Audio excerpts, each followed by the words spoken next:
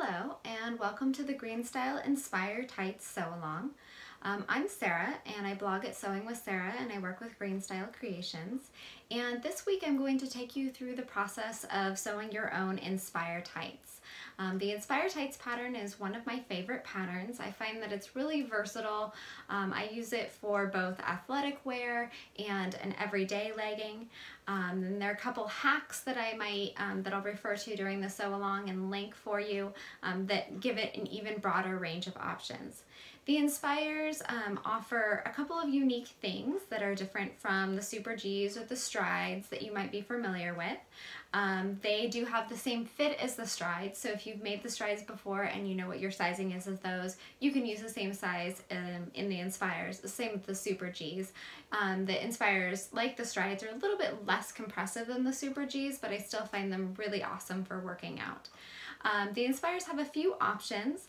They have an option with, that is just kind of a, a basic legging with a, a, side seam down the side of the leg um, and then a triangular gusset. They have an option for a high-rise waistband, which I really love because I feel that kind of holds me in when I exercise, especially when I'm running or even just kind of every day. I just really like the feel of that. Um, they also have an optional angled insert for both the front and the back um, that goes above the knee. So it'll be kind of an angled insert um, across the front and the back of the leg. And if you do that in something like mesh, it can really make it stand out and look cool. They also have an option for a back of the knee insert, which is another great opportunity to put some mesh for a little bit of extra ventilation and airflow, as well, well as a variety of length options. Um, I tend to like the capri or the cropped length because I'm a shorter person. Um, remember that Green Style drops for a height of 5'7". So if you are considerably shorter than that and you want to make a full length tight, you would want to either make the cropped version like I do or go through the process of actually shortening your pattern, um, which is not at all hard to do. Generally, it's um, a half an inch for every inch shorter than uh, you are than the pattern is drafted for.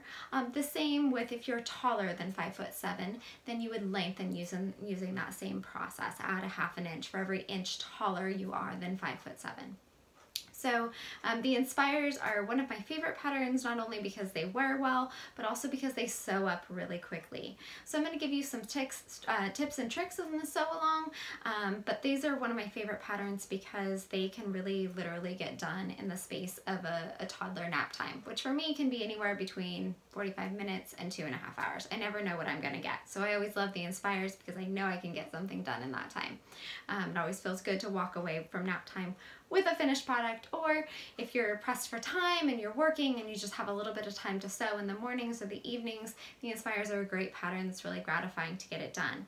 Um, they are on sale for the sew along. There's no code needed. All the green style leggings um, pa patterns are on sale for the sew along. So, um, you know, the everyday yoga pants, the Mandex, you know, the Inspires, the Strides.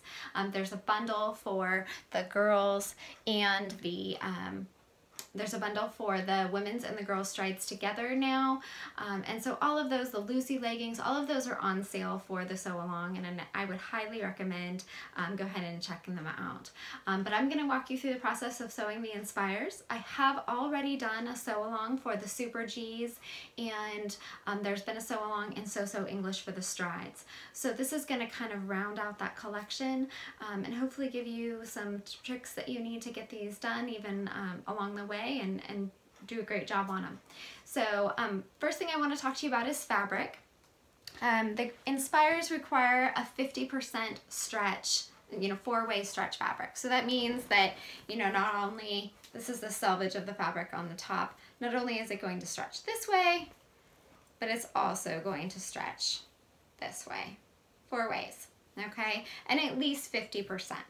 And there's a handy measuring guide on the third page of your pattern. So if you're unsure about whether your fabric has the right stretch or you want to go shopping, you can just print that out, take it with you, stretch your fabric, measure it, make sure that it fulfills the stretch requirements. This is a Supplex fabric.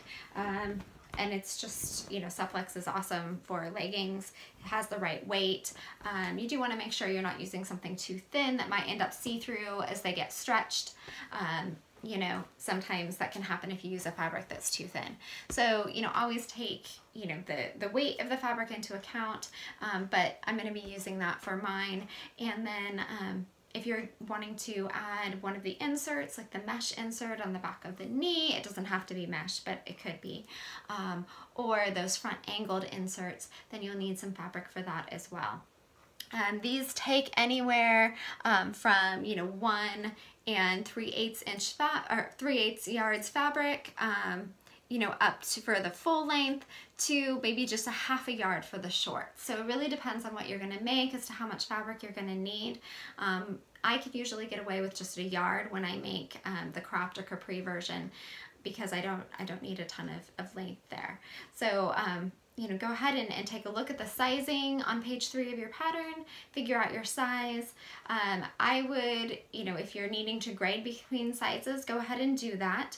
Um, if your hips are um, smaller, let me think for a second. If your hips are a size bigger than your waist, then I would recommend just grading, you know, using your hip size until you get to the very top where the waistband attaches and then grading it down to the size for your waistband and using that smaller waistband. Um, if you have the opposite situation and your hips are smaller than your waist, um, then you could do one of two things. Um, you could actually kind of grade out the top of your waistband so it's more of a rectangle and less of a kind of trapezoid or um, you could just go ahead and you know grade at, um, down for the hips once you get to the you know use the waistband size for the top of the uh, pants and then grade down so that they're kind of straighter. Um, so those are the kind of some of the main issues. There's always tweaks you can make to the fit of the crotch depending on your personal, um, you know, curves there. I tend to shorten the rise a little bit by taking a little wedge off of um, the front of the pants. And I have a, a, blog post that shows how I do that and I'll link that. But um, other than that, you know, these, these have an awesome fit. So um, go ahead and join me. I'll take you down to my cutting table now and we'll go ahead and cut them out.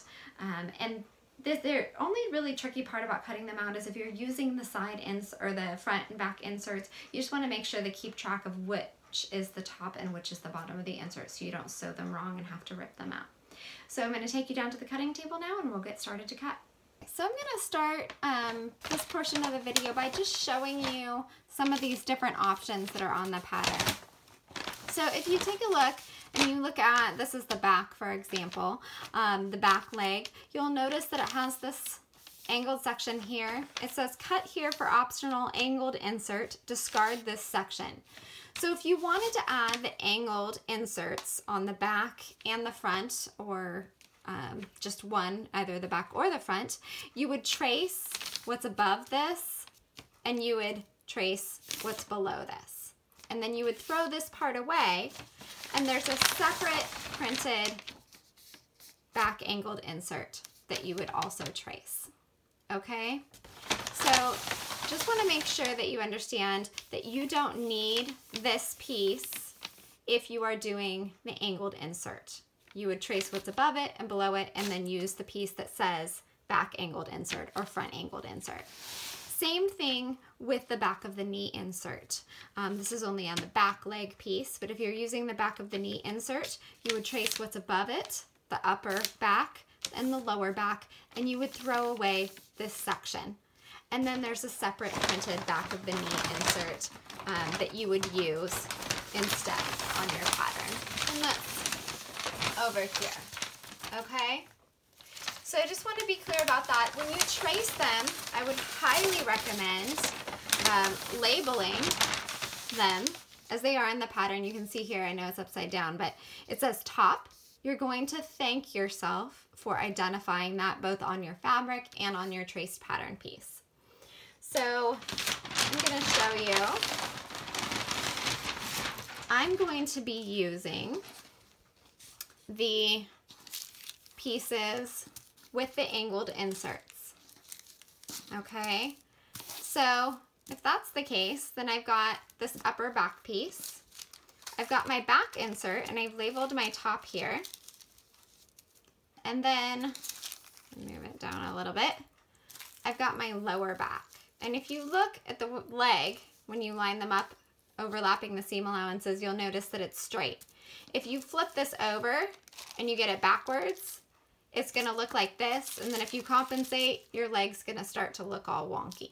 So don't do that. Make sure that you're labeling um, the top and the bottom and keeping those straight. You could put a little pin in your fabric um, or a piece of tape or a clip or whatever you need to do to remind yourself what the top and bottom of those inserts are. So you're gonna have that for the back if you're putting the back insert in, and then the same for the front if you're adding the front inserts. Okay, so I have a lower front, I have a front insert, and I have an upper front. And you can see how that makes a nice straight line when I overlap the seam allowances. Now I mentioned adjusting crotch curves. I like to shorten the rise by taking just a teensy bit off right here. Um, and that just makes the rise slightly shorter. So you're going to want to cut, go ahead and cut those pieces out. Um, if you're using the plain legging, then you're just going to have, you know, a front and a back. This is my back. You're going to have a back leg piece. And you're going to have a front leg piece. Okay, so you're gonna cut those out. Now there is a hack on the Green Style blog for making the Inspires all one piece. So this is the front, this is the back, and essentially what we've done is overlap the seam allowances of the front and the back to create a single leggings piece. This makes really nice fast um, sew and it's something that you can consider doing if you want to have a single leg pattern piece. It's really nice if you have a print that you don't want to disrupt with a side seam. Um, I've made quite a few pairs that way. So that's an option as well.